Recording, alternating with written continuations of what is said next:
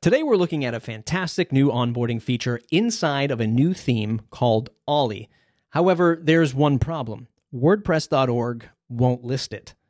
On one hand, you might think this is a no brainer. Look how refined and intuitive this experience is. Of course, WordPress would want something as great as this in the repository. On the other hand, approving this way of delivering themes could set off a firestorm of ways that the theme authors could abuse, and this method could lead users down an even worse experience. Let's take a look at what makes Ollie such a controversial theme right now. Ride into the future of WordPress with Ollie. You can download Ollie at olliewp.com. The link will be in the description below. As I mentioned, made by veteran theme author Mike McAlister. I interviewed him on my Matt Report podcast about seven years ago, hoping to have him back to chat about Ollie and building out this new theme. Um, a lot of praise been going around the WordPress Twitter sphere these days about this theme. A lot of people like it. A lot of people are enjoying the cleanliness for a uh, or the advancements, the cleanliness of design, uh, the advancements of design uh, with this block-based full site editing theme. Of course, uh, design is subjective, so if you like this kind of modern approach, you're probably going to really like uh, Ollie. Okay, you can download it by clicking on download. It says WordPress.org is coming soon, but you can download the zip directly from here or check it out on GitHub or do neither of those things and just view the demo right in the browser if you want. In today's video, we're going to focus strictly on this new onboarding experience um, for Ollie, which is getting the sort of pushback from the WordPress.org uh, theme repo team and I'm sort of just still stuck in the middle uh, on this one. I, I really can't go either way because I can see both sides of it. So right here on the screen, we have the onboarding screen that Mike designed. And let's just like start from the broad brushstrokes.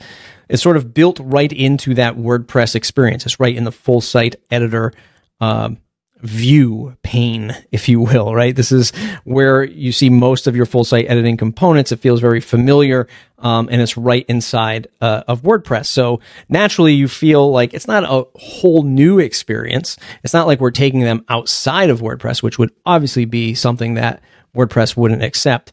Um, and when we go to the setup wizard, this is where it starts to feel like okay this is this is something I, i've not used before in a free wordpress theme on the repo built into the theme.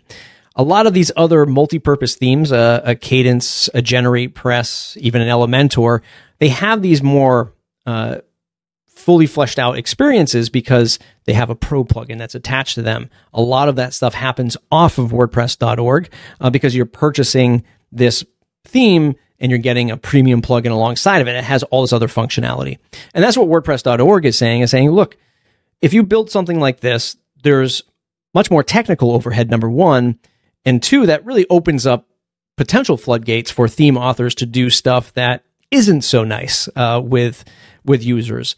From you know basic stuff where hey, this experience wasn't really great, and it makes it feel like WordPress was uh, disjointed there, or you're going to do this thing where you're starting to install other plugins, you're starting to do affiliate things, and the whole world of WordPress themes and plugins uh, needs an investigative journalist to go in and see like where the money's being made and what theme authors and plugin authors are doing. So I have a lot of respect for uh, the theme and plugin teams that have to go through um, the paces with these things. So here we are, theme setup.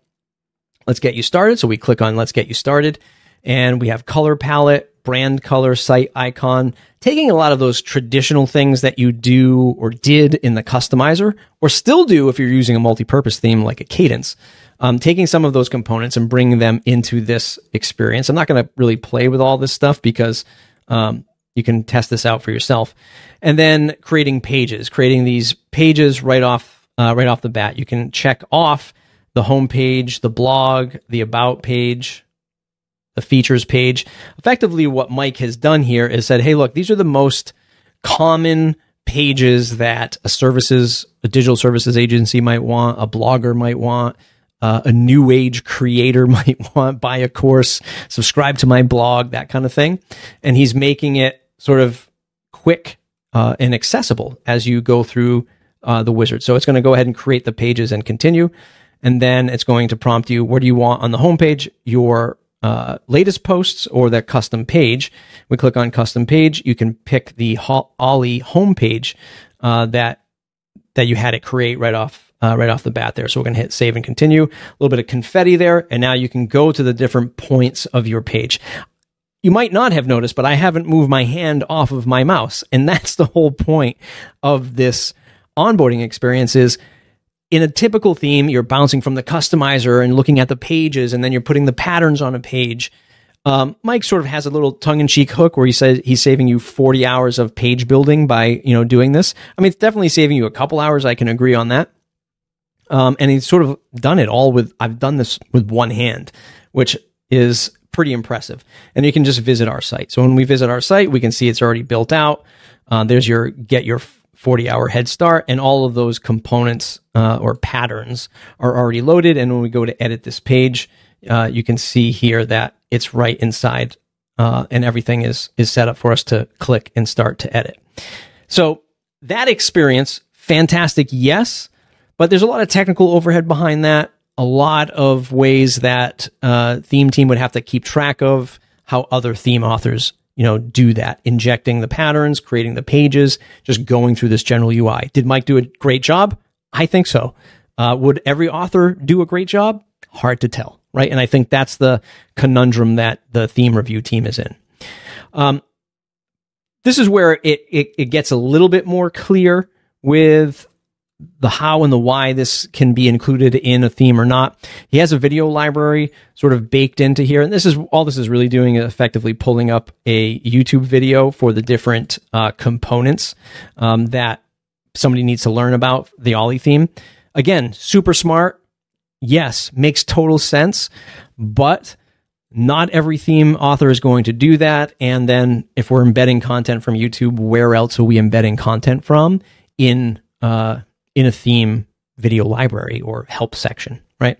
Same goes for the Ollie docs. All of this is built in here. I didn't inspect this to see if this is getting pulled in from another website, um, but he has uh, the Ollie docs built right into this experience. If we go back to the dashboard, we can go to appearance, Ollie, and it's always going to pull up uh, this screen along with the theme setup. So if you want to go through the wizard again, you can do that and change color palettes and inject pages and stuff like that.